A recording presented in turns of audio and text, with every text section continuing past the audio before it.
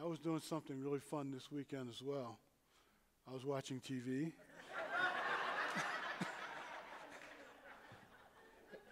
and uh, Friday night, I was watching the uh, ceremonies for the introduction of the Olympics. And there was something that took place Friday night that kind of st- stuck in my mind as I was listening to John Legend and Keith Urban singing John Lennon's song Imagine. You know, and you know the theme of the Olympics uh, this year and probably every year is unity. The idea is sports is this this common mode that can kind of bring us all together, like music and that kind of thing. So as I was listening to them sing the, the song, it kind of stuck in my mind, and I, and I went onto the internet to get the lyrics because I didn't catch all the lyrics. And so this is what it says, and it's kind of, uh, anyway, it says, Imagine there's no heaven. It's easy if you try. No hell below us, above us, only sky. Imagine all the people living for today. Imagine there's no country. It isn't hard to do. Nothing to, to kill, nothing to kill or die for, and no religion. Imagine all the people living life in peace. You may say, I'm a dreamer, but I'm not the only one. I hope someday you will join us and the world would be as one imagined, no possessions. I wonder if you can, no need for greed, no hunger, a brotherhood of man imagine. The one thing he doesn't say in here, well, he sort of does say, imagine that there's no God. You know? So so, so, so, John, so John Lennon's, you know, I mean, the guy was a genius. He comes up with this song. It's like a very famous song. You know, the idea is that there's going to be unity, you know, no religion, no institutions, no, but, but the problem is it's not going to work.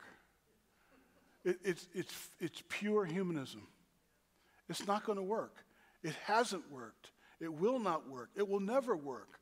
You know, his imagination, it just is not going to work.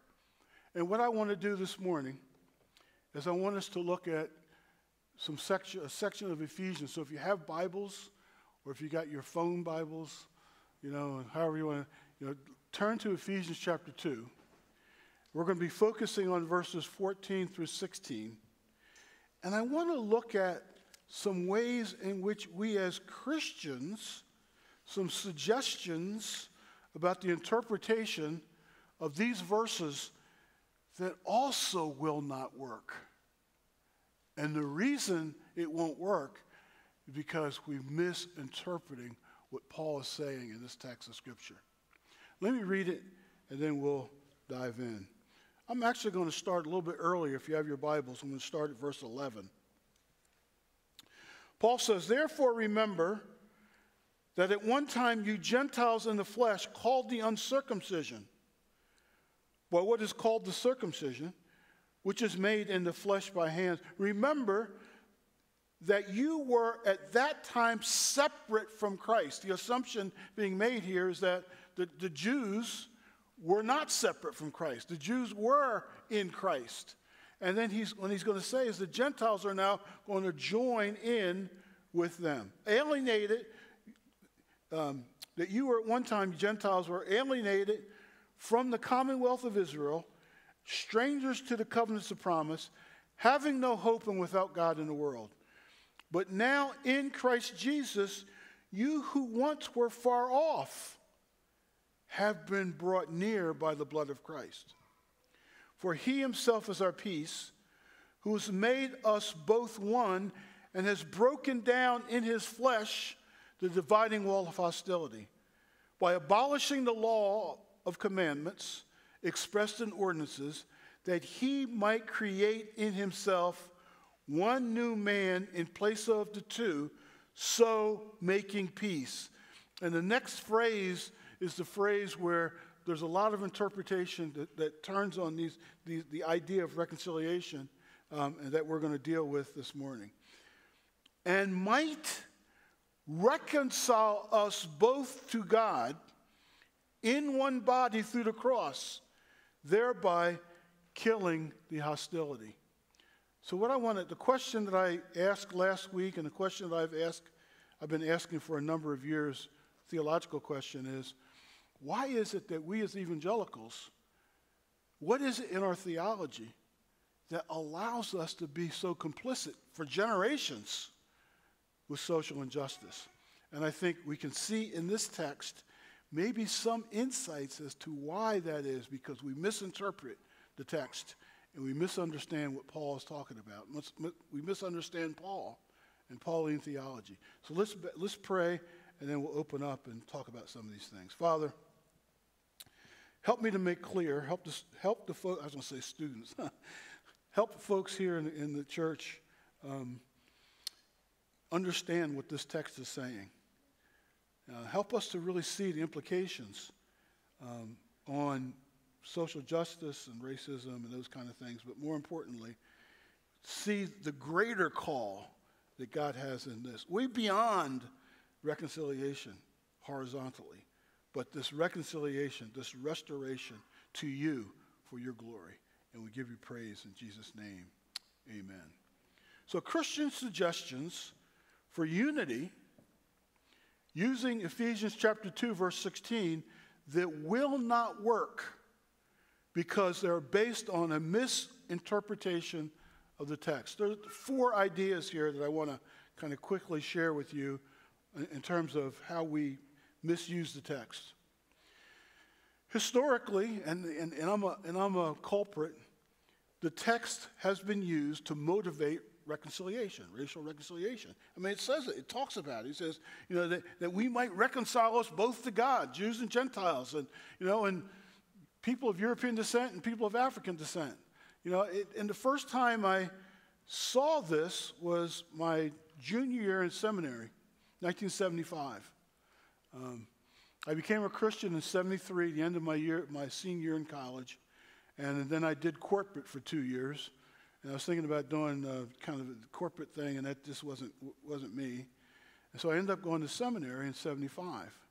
And I really hadn't read the whole Bible yet. I, I hadn't read the whole New Testament. I'd never read Paul's letter to the Ephesians. And so I'm in seminary, and the, the fire hose was going, and they're blowing me away, and, and, I'm trying to keep up with all these Bible college grads. And, um, and I came across the letter to the Ephesians. So I read through it and I came to this passage in verse 16 where it talks about reconciliation, you know, bringing folks together. Now understand, I went through the civil rights movement. You know, I remember my senior in, in high school when Martin Luther King was killed and there were riots all over the place. You know, 20 miles south of us in D- Wilmington, Delaware, Wilmington, Delaware was under martial law for 11 months. You hear me? They just about burned the city to the ground. We had race riots in our town. My, my high school, there were race riots in our town in on the front lawn of our high school.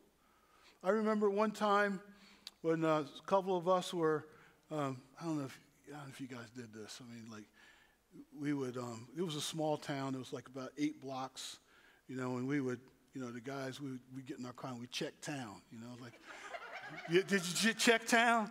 You know? And uh, we're the three of us, and we're in the car and we're riding around. First, you ride this way. You see, you know, which, where, you know, if any girls were walking, you know. And, and then you, you turn around and you go the other way. It's just high school, you know.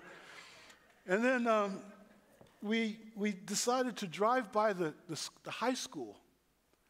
And as we drove by the high school, we saw on the front lawn of our high school an eight foot cross burning freaked us totally out. Of course, we ran to the police and, you know, and, and, uh, and reported it. But, you know, so the, I remember those days. I remember we had all these, these horrible uh, experiences during those, the late 60s and, and uh, in college and even in the early 70s. And so when I became a Christian, it was a big deal the end of my senior year. When I went to seminary, it was a big deal. When I read this text of scripture, it was a big, and I was like so excited, like, oh my goodness. The, the Bible addresses this problem that we have. So, my junior homiletics class, the preaching class, right? First year homiletics, I picked this text and I tried to preach on it. Now, you got to remember, I'm an ex hippie, you know, like uh, I got a big fro, you know, bell bottoms, you know, flip flops, you know, we didn't have a dressing code. And I, I preached on this text, and I'm, well, I tried to preach on it and talk about racial reconciliation stuff. This is 1975. And Earl, Earl, I'm not going to say his last name, but, cause I, but I do remember, Earl came up to me. Now, Earl was a Bible college grad. He knew the Bible. I didn't know what I was talking about half the time. But Earl was a Bible college grad, and he was he wore suits to seminary. You know, he wore he had he carried a briefcase. The, the boy had high water pants, white socks. You know, and I'm thinking this guy is really smart. You know, and Earl came up to me and he said, "You know, you can't use that verse." to talk about racial reconciliation because this is only talking about Jews and Gentiles. And I was like, I was like depressed. I'm thinking, oh my gosh, you mean the Bible doesn't address this problem that we're struggling with in, in our society? You know, but eventually I just ignored Earl and I jumped on the bandwagon with everybody else and I tried to use this verse to talk about racial reconciliation. But the reality is, Earl was right. It's talking about Jews and Gentiles. It's not going to talk about people of African descent, Americans of African descent, or other Americans of European descent being reconciled together. As a matter of fact, the term in verse 16, reconciliation, isn't even talking about the reconciliation on a horizontal plane. These folk to these folk. Now, it is saying, it is saying that uh, after the walls were broken down, after the, the law was made obsolete, but then but then those, those terms, and I don't want to get too much into the weeds of the, of, the, of the grammar, but those terms call for action that would take place later. The reconciliation would be something that would take place later. So, so that's the one section that, uh, the one uh, way of interpreting this text that I think is caused problems because it, it's not so much that God isn't going to teach us in Scripture about reconciliation. He gives us plenty of material to use to talk about it, but not this text. This text is talking about something far more important, far greater. Now, the second one um, that's a misunderstanding of what the text is, is saying is that the Jews and the Gentiles are being saved the same way the idea is that the reconciliation term here is talking about salvation, but it's not talking about salvation. You know, now I'm, i want to read a, a, section from, and sometimes when I, when I reference this guy, I feel bad. I reference him very often in classes at Northwestern, and I'm going to reference him here. And one of my seminary professors told me years ago uh, if you're going to quote somebody in a book, you know, or article that you're writing, or if you quote somebody in a sermon that you're preaching, you know, only use dead people. because, but this guy's living still. But, but I, so I always feel like a little bit, you know, like, because uh, I respect the man. I went to his church for seven years. He's one of the greatest expositors of scripture that I've ever sat under. But in this sense, the guy is wrong. His name is John Piper. And some of you probably heard of him. In his book, Bloodlines, he says this about verse 16, 14 through 16. He says, There are not two saving covenants. There are not two saved peoples, Jews and Gentiles. And the reason is that there are not two ways to salvation. Assumption, the text is talking about salvation. There are not two saviors, two crosses. There could, there could, uh, what could be clearer than this? Christ has broken down in his flesh the dividing wall of hostility, that he might reconcile us both to God in one body through the cross. Ephesians 2 14 to 16, Jews and Gentiles are reconciled to each other by being reconciled to God. Now, now listen carefully to what he's saying. Jews and Gentiles are reconciled to each other by being reconciled to God. In other words, if you're reconciled to God and I'm reconciled to God, then we're automatically reconciled to each other. I ain't feeling it. I don't think that's, that's not happening. through the cross. One way to God through, for, for both of us, not two ways, and we go together or not at all. So there is one saving covenant, the new covenant, in the blood of Christ. In believing on Christ, we're reconciled to God, and being both reconciled to God through Christ, we're reconciled to each other. There is no clearer text in the Bible, it seems to me, than verse 16. Now, this, now listen carefully to this next couple of sentences. Concerning the indivisibility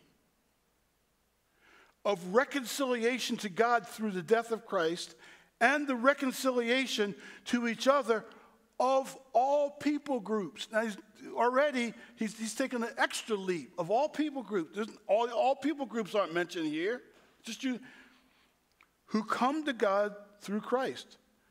Vertical and horizontal reconciliation happen together and inseparably through faith in Christ.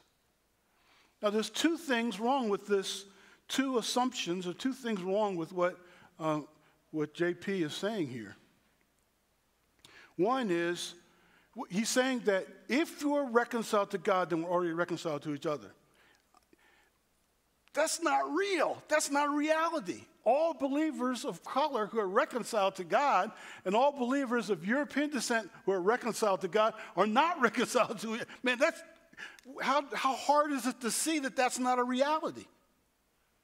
And the other problem is that's not what the text is saying. So, so, this, so it's a problem. So it's a problem. All right, so there's, there's three the motivation for reconciliation, we're saved the same way, and that being saved, being reconciled to God automatically reconciles us to each other. The fourth problem in the way people interpret this text, and, and one of my own colleagues, and I'm not going to mention some names here this time, one of my own colleagues at, at, at, the, at the university takes this position, and maybe some of the other guys do too, I don't know. Good friend of mine, but he takes a position, and I think he's wrong but also a really good friend of mine that teaches at Southern University, uh, Southern Baptist, down in Louisville, also takes that position. You know, and we've talked about it. He read my book, I read his book, we've interacted around it, and you know, I think he's wrong. And, and what he's saying is, we are automatically reconciled. This text is saying that we're automatic, so any intentionality to work on reconciliation is unnecessary. We're already reconciled. It said, you know, that we might be reconciled to each other. So anything that we do in order to intentionally actually work on this thing in our society is adding to the gospel. See, the gospel already reconciled us to each other. Now you can see how, like I said last week, this gives cover it gives cover to continue, continue systemic racism within the context of society because we don't have to do anything. We already reconciled. I'm saying I ain't feeling it, and a lot of other people aren't feeling it. That's a problem, and I think it's wrong. Right? So it gives cover. So those four ideas are problematic when it comes to interpreting this text. So, how do we interpret this, interpret this text? Well, the first thing we've got to do is we've got to understand Paul's thinking, the Apostle Paul. All of these options are based on a misunderstanding of Paul. Paul, now, uh, you know, some, this is the thing that my wife tells me not to do, but I always do it anyway. And she says, don't throw out these big theological terms, because people, you know, it's like, but I know that you, you guys are all sophisticated. So I'm going to throw these terms out anyway. Paul is thinking the lens through which Paul is using to look at Scripture and to write Scripture is eschatological, meaning the plan coming together. There's a plan that God has to put together, and the plan, it's like, isn't it great when a plan comes together? Remember the, the, the A team, right? Isn't it, isn't it great when the plan comes together? Well, that's, that's the eschatological. That's what, that's what Paul's talking. That's how Paul is thinking, right? But since Luther, and maybe before Luther, but what, I trace it back to, to that brother, good brother, but you know he has some stuff he messed up on, and this is one of them. He he has influenced to think soteriological, in other words, salvation stuff. So everything we read is about salvation, but it's not. As a matter of fact, most of the Jews that were hanging around Jesus weren't even thinking about salvation. They were thinking about, hey, when the kingdom comes, where am I going to sit? Am I going to be in the right hand, left hand? You know, they're thinking eschatologically. They're thinking about the plan coming together. Where, where, where, where, where's my role in the, in the new kingdom? They're thinking kingdom. They're thinking plan come together. And that's the way Paul was thinking. Paul was complicit at the stoning of Stephen. Remember Stephen? Jewish guy, became a Christ follower, preached to a whole bunch of Jewish, Jewish leaders, and in Acts was Acts chapter 8 or 7, 8, I think. He lays this whole, this whole history, going all the way back to, to Abraham in, Macedonia, in uh, Mesopotamia, like lays this whole thing out. And, and the Jews got upset and they stoned him, killed them. And Paul was complicit. They laid their coats at Paul's feet. Paul was complicit. As a matter of fact, he had gotten a letter from the high priest that said, if any Jews who are turning their back on the plan of God to use the nation of Israel to rescue humanity and become Christ followers need to die. And so he, so he got a letter and he was taking people to the arenas. And they were getting eaten up by the lions and dogs and stuff. That was Paul. But shortly after that incident with Stephen, Paul was on the road to Damascus. And God struck him down. Fell off his horse. You know, maybe, that, was, that was Luther fell off his horse. I, mean, I don't know, it didn't say that Paul fell off his But anyway, struck Paul down, and, uh, and, he, and he was blinded. And, uh, and so they took him, the next chapter, they took him to some, some Christ followers and they, they shared the gospel with him. He received the Spirit, the Holy Spirit. The scales fell off, and Paul suddenly goes, For 2,500 years, we've been waiting for the seed of Abraham. And all of a sudden, you realize Jesus is the guy. Jesus is the guy we've been waiting for. And so he goes into the wilderness for three years. And he writes 11 or 12 uh, documents that become the foundation for Christ following Christianity. But, it, but, it, but those documents, the theology, grows out of Judaism. And it has Jesus, the Messiah, the Christ, in, at the center of it. And it does talk about it does talk about salvation. It does talk about uh, relieving our uh, uh, Jesus dying on the cross to deal with our sin. But the primary lens that Paul is using is an eschatological one. And the letter to the Ephesians is eschatological all over it. It's all through it, all throughout this letter. It's about the plan coming together, the plan that God has. So, all these options have a misunderstanding of Paul. And the term reconciliation in verse 16 of chapter 2 is really talking about the restoration. The restoration. Now, let me read, let me read it. We'll start at verse 14. Now, if you got your Bibles, take, watch, follow with me. Now, I'm reading, reading from the ESV. It's very similar to the, to the um, New Revised Standard that you use here. For he himself is our peace, who has made us both one, has broken down in his flesh the dividing wall of hostility by abolishing the law and commandments expressed in ordinances, that he might create in himself one new man in place of two, so making peace. And he might reconcile us both to God in one body.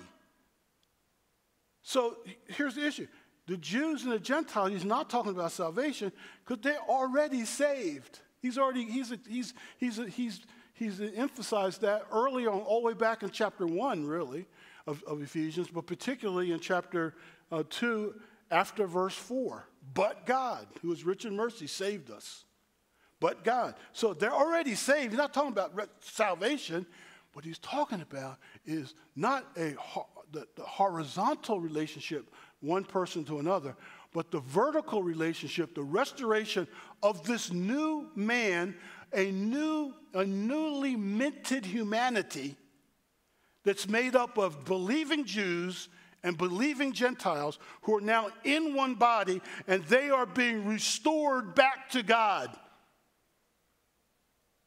into and being made into a temple.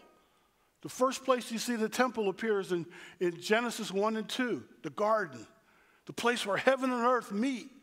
That's the temple. And this temple is being restored, made up of believing Jews and believing Gentiles. And so he follows these verses with, and he came to preach peace to you who are far off and peace to those who are near. For through him we both have access in one spirit to the Father, so that um, you are no longer strangers and aliens, you Gentiles, but are fellow citizens with the saints, members of the household of God, the, the community of believers, the, the, the members in the covenant that God made with Abraham. This new community, this new Adam that God is in the process of, of building, built on the foundation of the, the apostles and prophets Jesus Christ being the cornerstone. The cornerstone of what? This new temple that God is establishing. Um, in whom the whole structure, now, now, now follow, follow the, the verbs in, in verses 21 and 22. The whole structure is being joined together. It's not a complete, it's not a completed action. This is action that's in process. The new temple is being built, being established, grows into a holy temple in the Lord, where, where heaven and earth meet, where God promised to dwell with his people. In him, you also, Gentiles, are also being built together into a dwelling place for God by his Spirit. You see, that's, that's the eschatological plan that's coming together. That's what Paul's talking about. And if he's not talking about, he's not talking in verse 14, um, 16 rather, about salvation. They're already saved. So the word reconciliation isn't talking about that. It's talking about the restoration, the new community, the new, the new, the newly minted community of, of humanity made of believing Gentiles and believing, believing Jews who are now being established um, as a new temple. The, the, new temple replacing the, the, the old, te- the first temple, the, one, the Garden of Eden, which was the temple. And if you look at the whole, uh, the, the, the, history of the temple throughout the old, the whole New Testament, the Old Testament, it really kind of really, it really makes sense, and it really comes to fruition. Of course, it, in, in Revelation 21 and 22, when the temple is established. That's what God is doing. And when we get there, and when we get there, when the whole plan that comes together, and you are a part of it, you'll be able to look at the temple and you say, I can see that brick right there. That brick represents my life. That brick represents me and my life's journey, my story to be part of this community that God is building. That's what it's all about. It's way bigger than racial reconciliation. It's way bigger than that. It's about the plan of God coming together and the temple being established that we're all a part of and, and uh, um, infinitely involved in that plan that God is doing. That's what it's about. And if we, like I say, go back to the first question I'm asking what is it about our theology allows us to be complicit with social injustice. And part of it is that we we jacked these verses up. We've tried to read into it what we want to see rather than look and see what God is saying. And then live lives consistent with the revelation from God that's given to us in this, in this, in this text, the special revelation of God. And if we do that, the whole racial reconciliation thing will be taken care of. It doesn't mean we ignore it, but it, but it will be addressed. And we will be addressed in all of its minute details so that we can ultimately be that community that God called Adam to be in Genesis 1 and pick up that task that God gave to Adam to manage the entire creation for God's glory. That's what it's about. That's what it's about. Let's pray. Our Father, we do thank you. We praise you for who you are and what you're doing in our lives. We praise you for your word that you've given us, the detail that you've given us about who you are and how you want us to think. We thank you for the, the, the, the, apostles and the leaders that came before us all, that laid this stuff out. And help us to be Berean. Help us to truly study the scripture, make ourselves approved for, for God, for his glory. That's in Jesus' name we pray. Amen.